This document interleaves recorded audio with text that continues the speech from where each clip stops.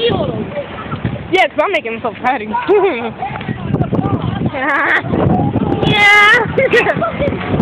Hi world, I'm Courtney.